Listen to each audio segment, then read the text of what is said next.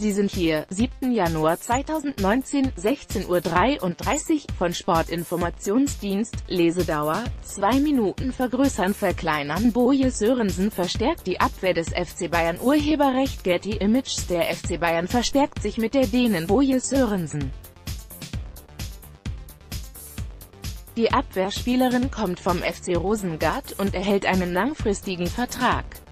Bayern München hat sich mit der dänischen Nationalspielerin Simone Boje Sørensen 26 verstärkt.